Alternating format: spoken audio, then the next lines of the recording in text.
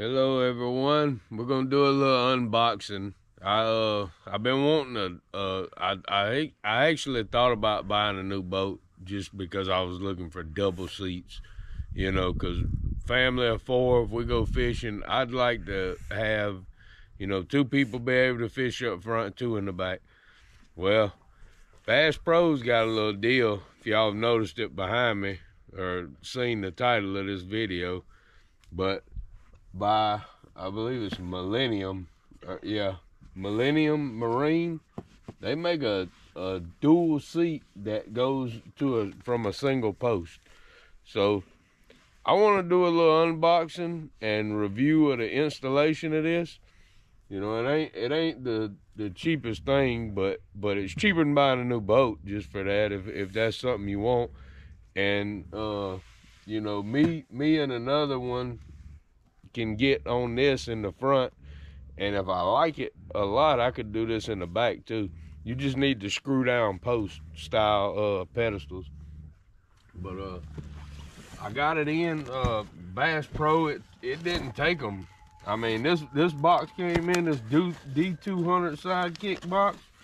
Shoot, I had it in maybe a day or uh, two days max. They had it sitting out there. Uh, in my driveway waiting on me to pick it up. So, I don't know what all we need to put this thing together yet, but uh, we're gonna we're gonna do a little unboxing with you if, if you'd like to see. I mean, it's, it's all aluminum as well. That's really nice. Uh, it'll be a little lighter weight than than some things. This type of metal. Oh. Uh, so there's the uh, pedestal. It comes with the seat pedestals too. I was reading that because these seats don't have the pedestals with them. So I, I, was glad that I didn't have to purchase that extra. And it's got a three position deal on the seat for the height that you wanted at. So I, I when I seen that, I really liked that about it. Uh, and then these are the brackets that go on the arms. Let's get all this down.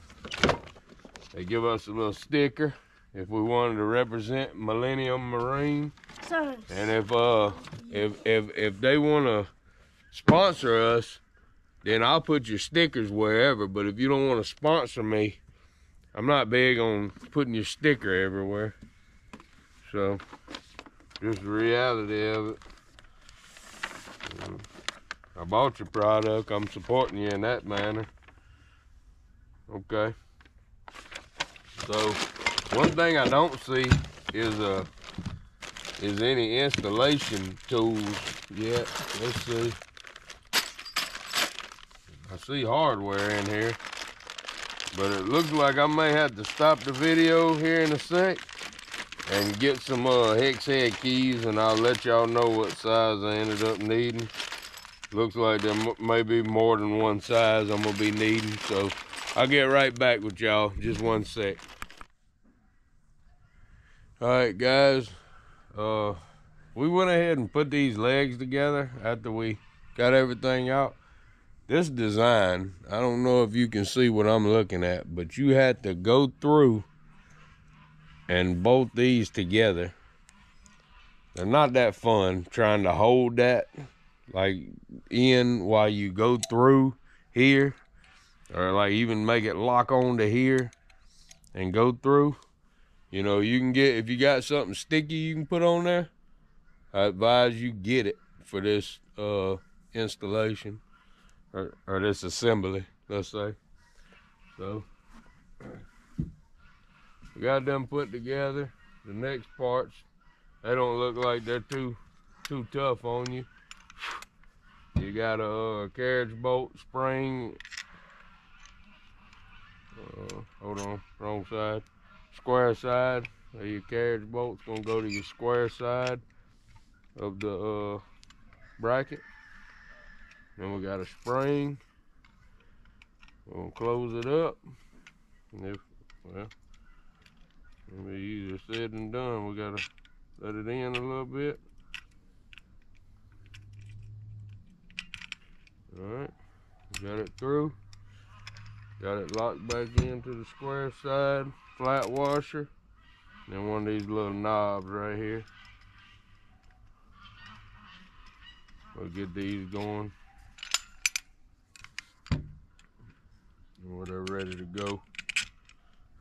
Can I do this one? Sure. If you need one of them, those, this, this. Carriage bolt goes to the square side, yep. We're gonna put the flat washer knob. And we're not gonna tighten them all the way because they assemble up on these other poles. But uh Don't tighten it all the way. no, just get it started on there. Here, here's another one. You can do that one. Alright, and then we gotta get these uh bolted down to the pedestals. I'm probably gonna have to grab I, I got a little toolbox here in my boat. If y'all don't keep a little toolbox in your boat, it ain't gotta be nothing real fancy, but uh it's something that'll really get you out of a bind, you know. And I needed it today. We went out there uh, fishing, and my cranking battery went kaput, you know. So I ended up using my uh, using my trolling motor battery to fire it up, fire up the engine when we were uh, leaving. So again, big time. Keep you a little tool set. I got this, I want to say, at uh, Lowe's for, I don't know, maybe 20, 30 bucks around the holiday. Got a little screwdriver set and a uh, few wrenches, a few sockets. I keep me a pair uh, channel locks and pliers and keep a pocket knife handy and them, little, them little things like that will get you out of a big bind. So, all right, let's look what we got next going on. So that was step one, the very difficult legs, which once you get a groove on it, it's not too bad, but they are kind of, kind of aggravating. The clamps, they were very easy. The seat collar, they're, they're already on it. We just got to lock it in. Uh, so, if your seat post larger, they give you some extra uh, hardware. And looks like uh, these are just gonna bolt up to that middle piece. The larger side of it is gonna go to the middle part. We'll move this out the way. Both of these chairs. And we'll see this screw down in there.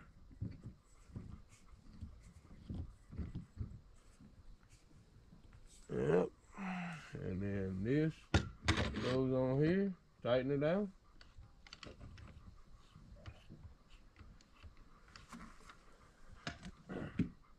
Yeah. All right. It ain't gotta be all the way. Here. Right here. Loosen it up. Let's see. Let's put this on too. So. All right. Go ahead. Let's get it on.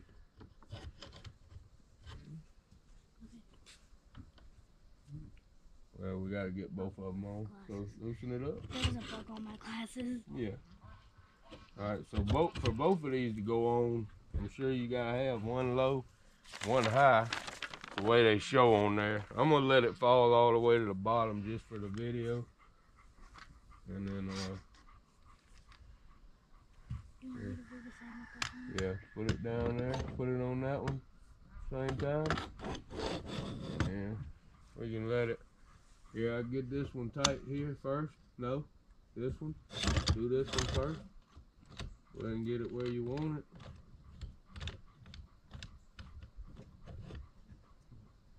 Alright. Should hold that one where you want it over there.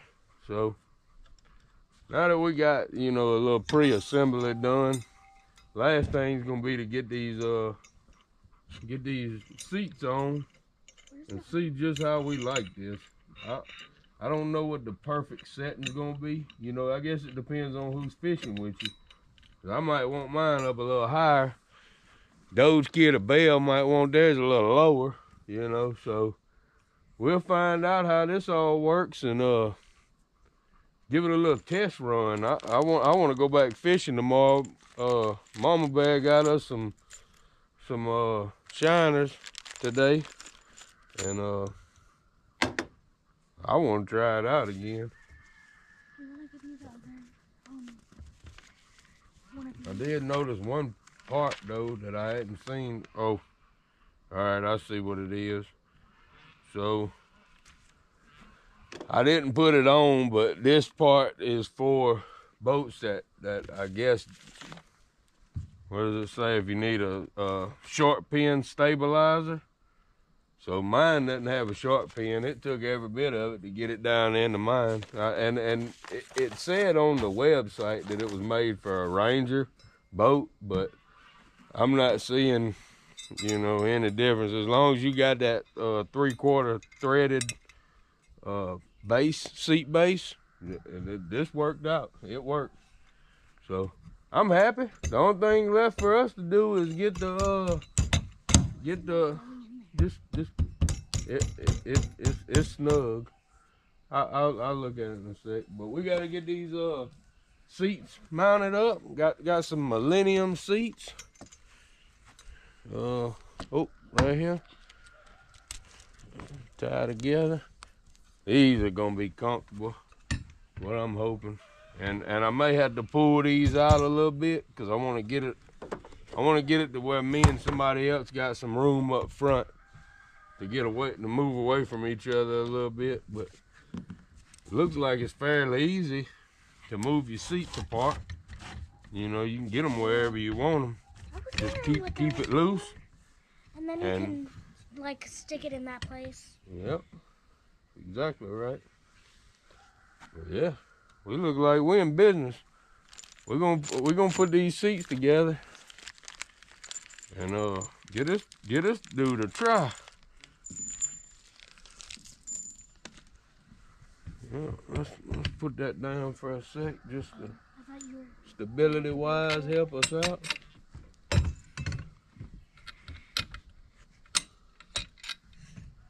Yeah, Belle's my mechanical uh, gal. She she loves this stuff. Here, take this pack. That's for you.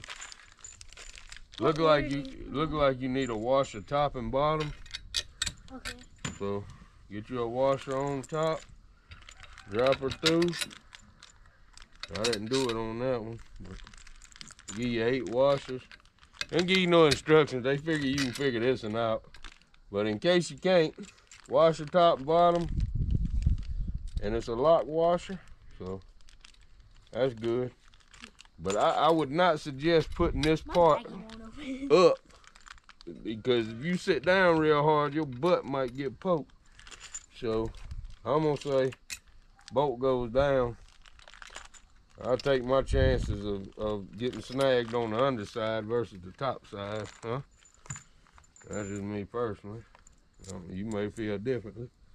You may you may want that going up and trim it off. I, I mean, that would work too. If, if you if you size these bolts up and you trim them off to, to length after you tighten them, you know, but they pretty excessive. Let's see.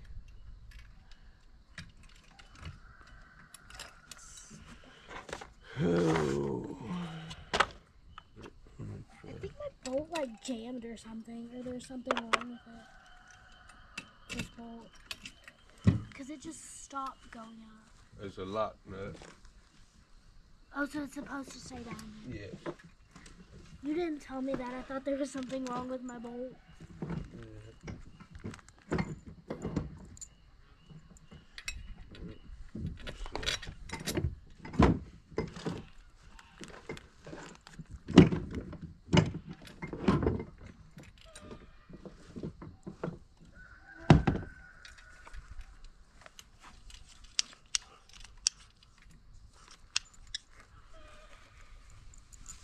Oh.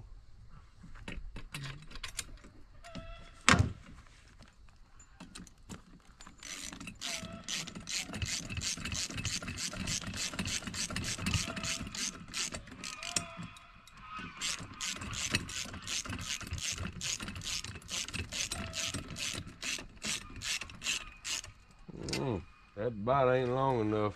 I may have to go get a deep well socket. Set 7 16ths. That or go get me an open end boxed in. But yeah, y'all hold on just one minute. Let me go grab that. I'll be right back. All right, guys, I'm back. I went and grabbed me a 7 16ths open end boxed in. Well, I can make sure I got me a good, good snug, uh, snug fit on here. And I know you probably don't have to, but I'm gonna go crossbolt on it. Just like we would anything mechanical. Uh, I may actually bring it. It was working good this way up till it didn't at the very end. So let's keep that momentum going.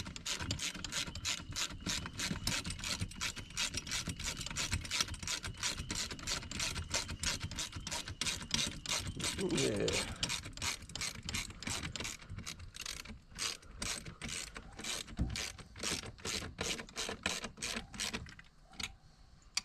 Go ahead and get this one.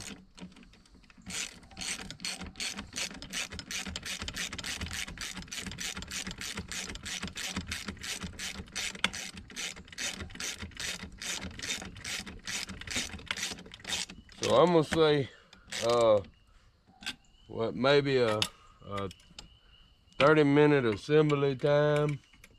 You got all your uh, tools together. Uh, I was incorrect about it not having a hex key. There was one that come with it. I checked the size on it though, because I didn't see it at first, so I got my own out, and I believe it was 3 sixteenths was the size you need. And there's one mystery right now. I gotta find out where it goes. There's one smaller one that I had to look and see. Uh, let's see that one. Can you see what that one is? That loose one right there. What does that say? On that. Where's it supposed to say it? Oh, oh. That's five one three two. No. Oh, five thirty seconds. So five thirty seconds. Bell just informed me.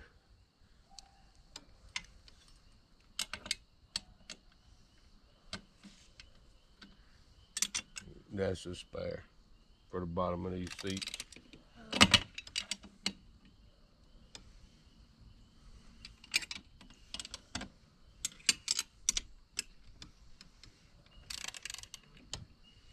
Yeah, I'm not gonna bore y'all with all of them. I'm gonna show y'all how I'm gonna do this. This one right here. It's my last bolt on the cross bolt. Uh, and uh, I'll check back with y'all. Maybe, maybe tomorrow if we get to go on how this all worked out. The last thing I'm I'm uh, thinking on is my trolling motor because I went ahead and put it down for putting these together where I had good opportunity, you know, good area. But I'm thinking I'm probably gonna have to shift everything over to one side, flip my trolling motor up, cause I got one that's, uh, you know, the hand tiller type. Until one day, whenever I get me one of the fancy GPS with the remote on it, and I can eliminate a lot of, you know, needless space up here. But uh, for now it is what it is. I like my hand tiller. It ain't it ain't bad. It still works. So I, it's hard for me to replace it like that. But y'all have a good one, and uh, like I say, we'll let you know how this works out.